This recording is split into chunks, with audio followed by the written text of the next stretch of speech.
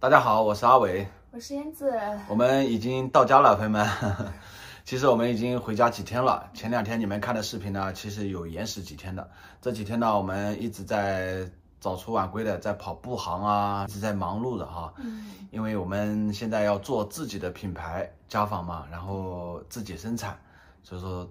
特别特别的忙，呵 呵然后这个事情都要跟大家聊啊。咱现在聊一下这个布哈，因为前两天我发了视频啊，嗯，大家的评论呢我都有看，就是他很多人说不懂事，还有就是我为什么没有认他干儿子哈。这个事情呢是这样的哈，首先他不懂事呢，其实大家也要理解，因为他毕竟妈几个月就改嫁了，爸呢从小他就爸就是一直在。里面，然后就是进出进出的那进去出来出来又进去出来又进去，就一直等于是一一直在里面。他的青春，他爸爸。出来的时候呢，在家呢，他也喜欢喝酒。木花跟我说，然后就喝喝酒，他会害怕，喝的烂醉害怕，然后还要挨打挨骂啊，还得知就是说问他爸爸走了难不难受，他说不难受，不难受，然后反而说轻松一点，他对啊，这只是他一个家庭。然后在外面的话，就肯定会看到别人的爸妈多么疼爱自己的孩子，爸爸妈妈，爸爸妈妈，他呢，就爷爷，是吧？他其实已经是很懂事了。穷人的孩子早当家，真的家务事很多事情都干得特别的利索，比成人比我们大人干的还要利索。哇，这洗衣服啊都很利索，很懂事的。还有就是，毕竟还小，才十岁啊。前几年一开始去的时候，他看到我们就不说话。他就是很内向，很内向，很内向的，包括现在也很内向。嗯，但是现在和我们时间久了，就是待个一两天，他会就是跟我们主动跟我们说话，活泼了很。一开始的话，他可能会有点内向，有点害怕，就是。然后还有就说到为什么认他干儿子，后来又不认了。本来我认干儿子呢，并不是说我要想认一个干儿子，我是要让布哈有一种依靠，就是亲情在那边。亲情，我我干爹干妈很宠我。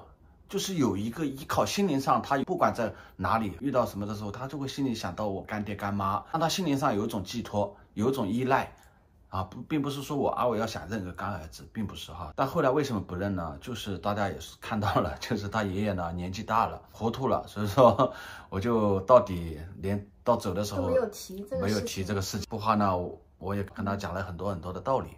啊，教他怎么样怎么样好好学习，千万不要学坏，不能让叔叔阿姨失望。要一定要做个社会有用的人，也跟他讲了很多，他也听得进去。还有关于我给他钱，很多人说不应该给他这么多钱。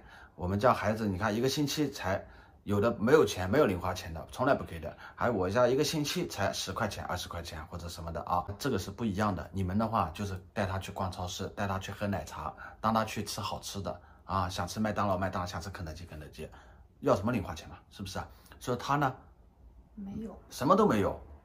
然后，当然我也是相信他的。前几年我就到现在，我一直看得出来，不还是那种志气的，就是不是那种大家所看到就以为他啥也不懂事会乱来，应该不会哈。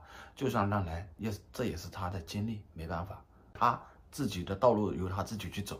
好了，这就是关于这个布哈的啊几个问题，大家呢希望也能多多理解他啊，毕竟还是欠那个教育，但也没办法，这个毕竟没人条件有限嘛，是不？大家不要对他的一些。什么礼貌啊，各方面啊，就不要要求太高了。已经他已经很好了，不怕啊。现在聊一下，我们就是这次回家，大家应该都知道，春秋换季了。一个我们带一下我们家乡的一个家纺，也是我阿伟燕子自己的一个小产业啊。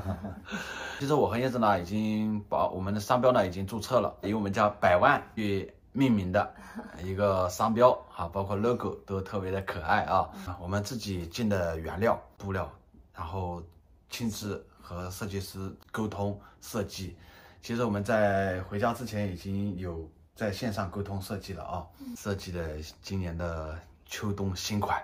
其实我和燕子呢，这次就是说自己商标自己生产的话，对我们来说风险还是挺大的。进原料的话，不是说就是卖多少是多少了，就是囤的货啊量更大了。这样的话，能我们能再把那个价格再次往下打一点了。然后还有就是这个原料上面，啊，我们呢也把控的就是更好了。因为我对品质要求高嘛，就是我们选的都是我们南通大厂家的大厂大布行的大布行的啊。我们选的是金太阳、嘉宇诗和那个红立新三大头部的布行，让朋友们真正得到好东西、好的产品。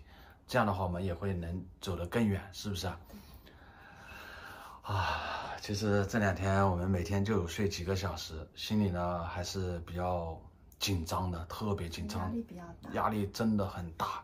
不知道这次怎么样，但是我还是那句话，都是人生当中的经历啊，经历嘛，是吧？过程是最完美的，不管成功与失败，重要的是过程。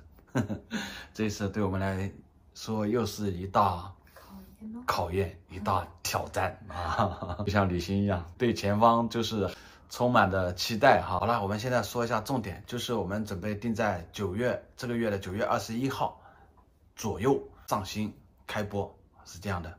然后这次呢，是我们在线上做床品呢，是第三年了，也是整整两周年了，两周年庆。然后呢，有很多很多的福利啊，然后大家到时候等等过来啊。